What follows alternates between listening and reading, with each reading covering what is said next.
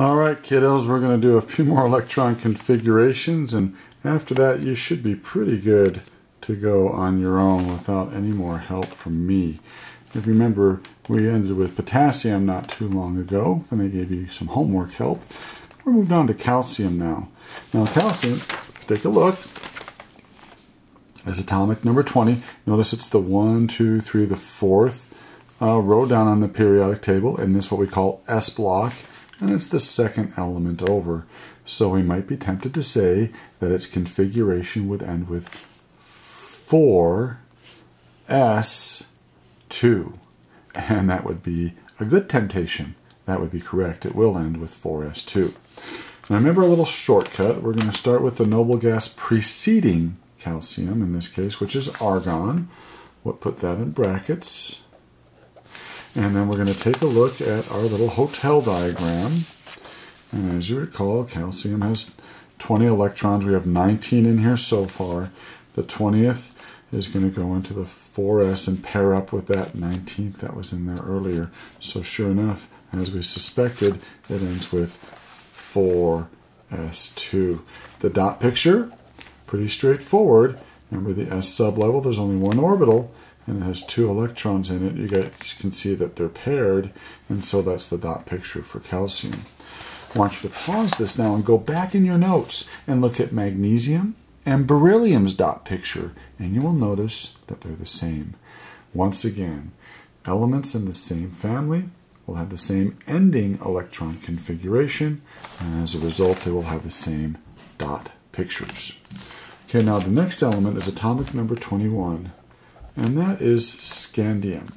So scandium has 21 electrons. Let's take a look at its position on the periodic table. Here's calcium with 20, and right next to it is scandium with 21. Now notice when we did when we jumped from beryllium to boron, and from magnesium to aluminium, sort of a gap in the periodic table. This time that gap is missing. It's replaced with 10 elements here. Now 10 is a significant number on the periodic table.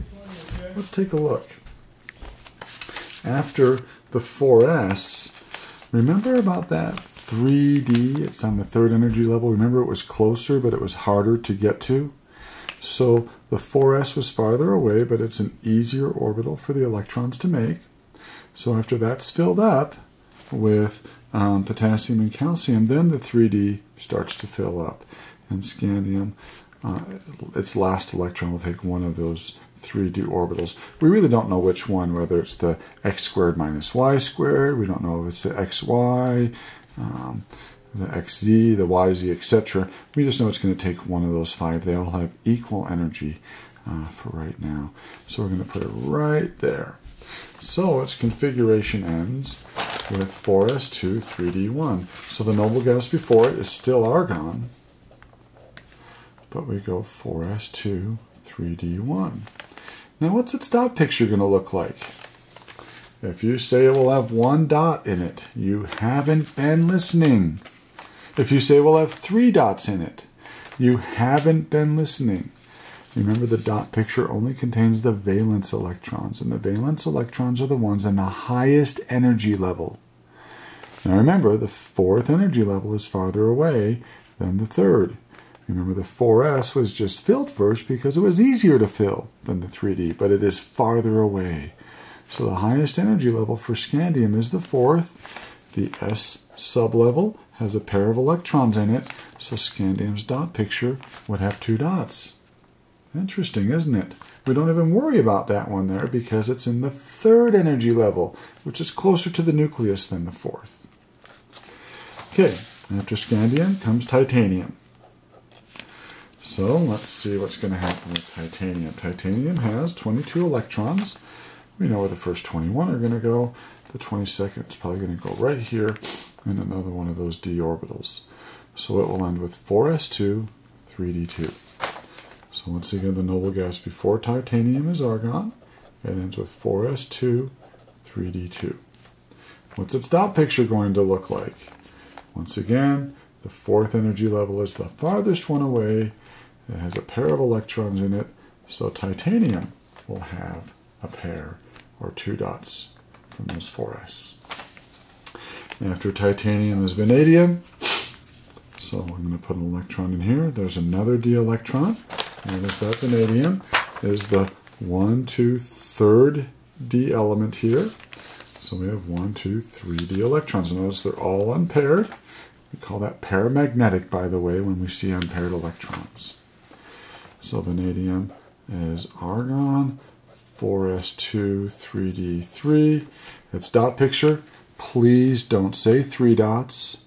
Don't say five. Come on. What is it? There you go. You finally remembered. The fourth energy level is the highest. It has a pair of electrons there. So vanadium's dot picture looks just like titanium's and scandium's, doesn't it? In fact, what do you think chromium's dot picture will look like? And what do you think the dot picture for manganese will look like? And you would probably be correct saying that they would each have a pair. Okay? Now, there are some exceptions to these rules that we're talking about, and we're not going to get into those for right now.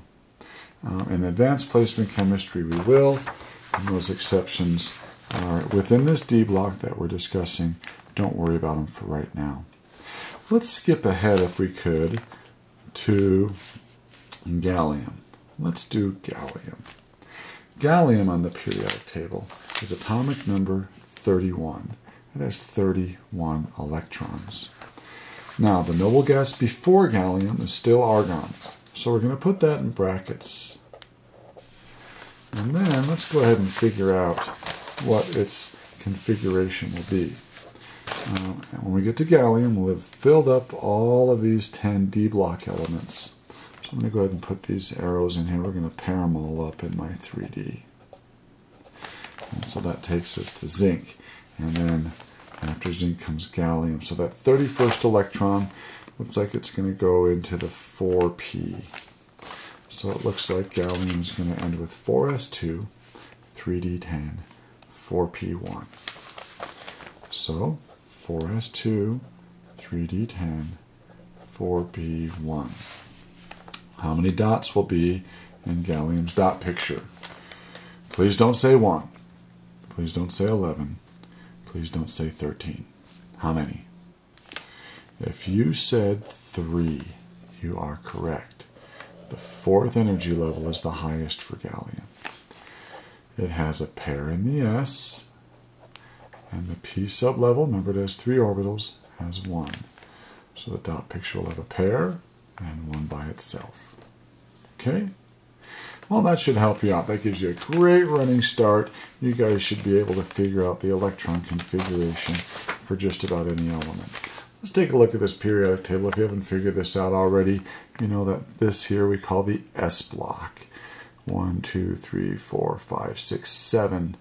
And this would be 7S1, 7S2, 6S1, 6S2, 5S1, 5S2, etc. on the way up. Over here we have the P block, except for helium. And this is 2P1, 3P1, 4P1, 5P1. Uh, fluorine would be 2P5, chlorine would be would end with 3P5, bromine would end with 4P5, etc. In the middle we have the D block, and the D block, these always lag one, one behind the row number. So remember scandium ended with not 4D1, but 3D1. Titanium ended with 3D2.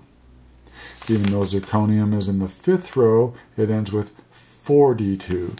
Niobium would end with 4D3. Molybdenum would end with 4D4, etc.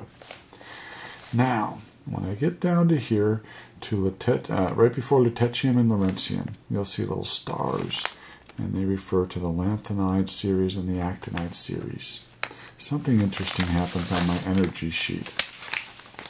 Notice after uh, the 6s is filled, the next highest energy is 4f, then 5d, then 6p. So it gets a bit complicated. After 6s comes the 4f, energy-wise. So the 4f is pretty close to the nucleus relative to the 6s. Here's my 6s. But the f orbitals are really hard to make. It takes a ton of energy for those electrons to maintain that shape. So they don't start filling in until after the 6s. So the 6s is filled in, and then we have uh, lanthanum, which ends with 4F1, cerium 4F2, um, promethium 4F3, neodymium 4F4, etc., up to 4F14. Then we can begin the 5Ds and then the 6Ps. Francium begins 7s. After 7s, we go to the 5Fs. Then we can go to the 6Ds and finally the 7Ps. Element 113, if you've been keeping an eye on the internet and newspapers, element 113 has recently been synthesized, so there actually is an element drawn in there in more recent periodic tables. Okay? Alrighty. Boy, we've done a lot of configurations here. Let's put this stuff away for right now. Get a little bit organized here. Um, we're not going to do this. Maybe I'll do this for you in class. You can read through this. We can talk uh, about the quantum numbers of the last electrons in an atom. Um, if we have time for that, we can do that. Um, do you all know what Hund's rule is? Hund's rule. We've been doing it, we just haven't stated it. So what do electrons do when they enter an orbital? Don't they go in one at a time before they begin to pair up? For instance, let's say I end with 2p5. So we have the 2p. Do we start going 1, 2, 3, 4, and then 5? Or do the electrons go in 1, 2, 3, 4, 5? Well, for the 2p, it does, uh, 2p5 doesn't make a difference. But what if it was 2p4? Would it make a difference if it were 2p4? How do the electrons go in? Do they start pairing up right away? Would it look like that? Or do the electrons go in one at a time and then when the sublevels half full, then they begin to pair up? This is the correct way. So Hund's rule simply states that electrons go in one at a time until the sublevels half full and then they pair up.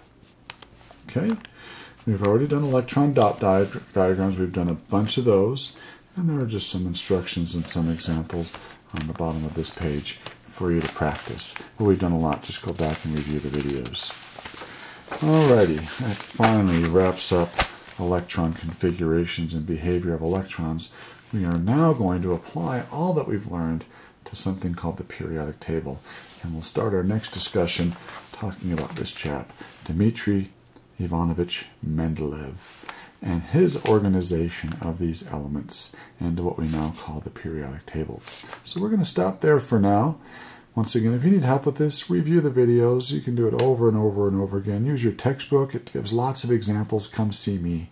We can work on some examples together. Okay? Other than that, good luck. Maybe I'll do another homework video for you to help you out with assignment. I think around 15 or something like that. All right, best of luck to you. Way to stick with it, kiddos. Um, boy, we're just about wrapped up with first quarter. We're one fourth of the way there. You know, another, uh, what do we have? Uh, boy, one quarter of the year is done. Yeah, we still got a good chunk to go. But stick with me. We can do it, folks. Have a great day. Bye-bye.